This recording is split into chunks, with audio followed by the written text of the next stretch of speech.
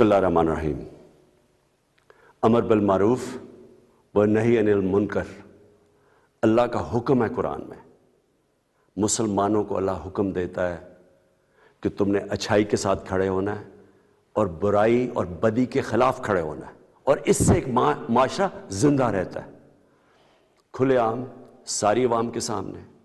इस मुल्क में डाकुओं का टोला जो तीस साल से इस मुल्क को लूट रहा है करप्शन कर रहा है, पैसे बाहर भेज रहा है।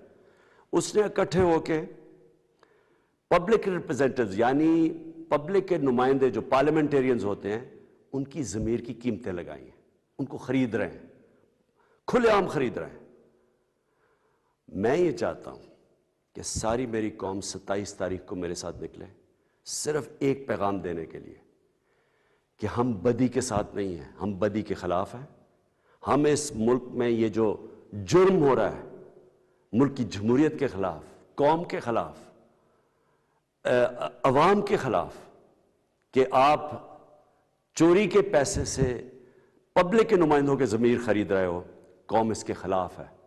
और मैं चाहता हूँ कि कौम निकले मेरे साथ सत्ताईस तारीख को और सारे पाकिस्तान को पता होना चाहिए कि आगे से किसी की ज़रूरत नहीं होनी चाहिए कि इस तरह हॉर्स ट्रेडिंग करके इस मुल्क की जमहूरियत को और कौम को नुकसान पहुँचाए। शुक्रिया।